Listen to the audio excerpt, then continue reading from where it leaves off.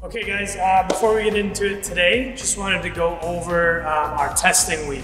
All right, so today after our deload week last week, um, hopefully we've experienced some level of super compensation. We're ready to go, and we can uh, we can fire up those one rep maxes and those max reps in our in our gymnastics. We have those planned throughout the week.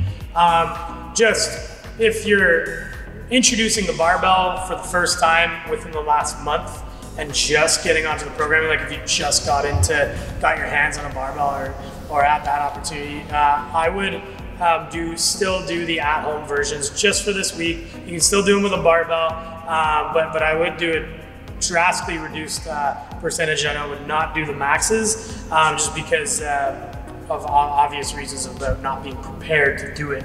Uh, one rep maxes are, are they take their toll, and we need to plan our route to the one rep max accordingly. Now, if you've been training hard this whole time, following the program, hit it hard. Let's uh, let's see those PRs. All right. So today is the one rep max back squat, but if you don't have the necessary loading or the equipment, we can grab whatever we were using for our loading, our object, our dumbbells, whatever. We're gonna do any type of loaded squat, front squat, back squat, whatever you need to do.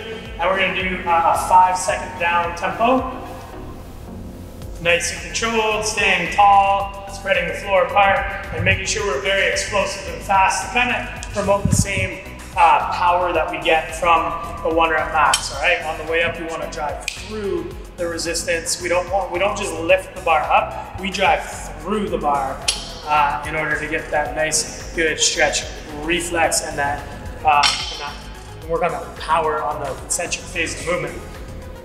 Then we're supersetting um, muscular development with uh, this isodynamic.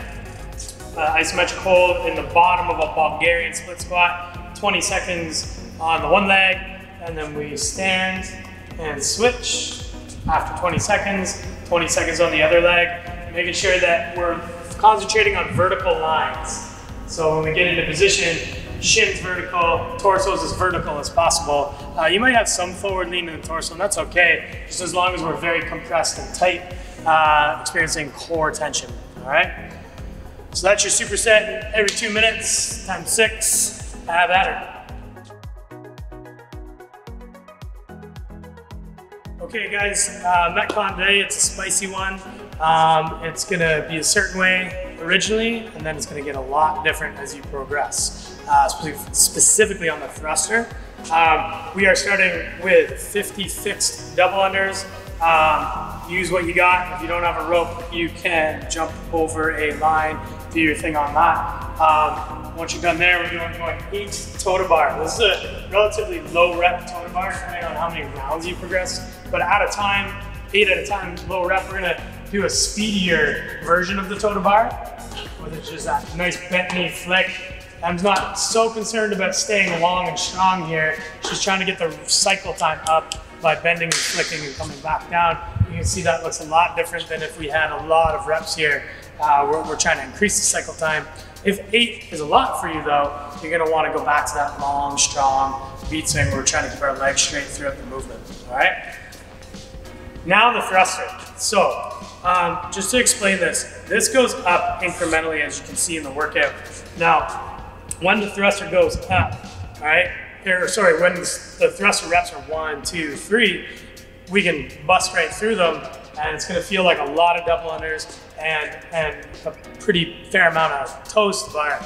But this is drastically gonna slow you down. We're gonna have to be very efficient here. And it is a heavier thruster. So um, we really wanna pay attention to our rep tempo on this, um, and we want to control the bar because this isn't a light thruster, it's not a wall ball. We want to make sure that we control the way down. All right, so what I mean is that eccentrics, if we get pile drive into the floor by the weight, we're gonna make it heavier on the way up. So what Em's doing here is she's accepting with her legs and slowing and decelerating the bar uh, so that she can drive back up against a weight that's not coming crashing down on your shoulders. And that works for um, if you've got um, a heavy object that you're using today, heavy dumbbells, if you don't have the luxury of like having some type of weight that's fairly heavy um, to use in the thruster, um, then, then just increase the reps. It's gonna change the stimulus a bit, but increase the reps um, with the object that you do have and make that judgment call. All right. So have fun with this one, guys. Remember, the focus is going to be the thruster, but it's not going to feel like it at first. Um, so so keep it in mind.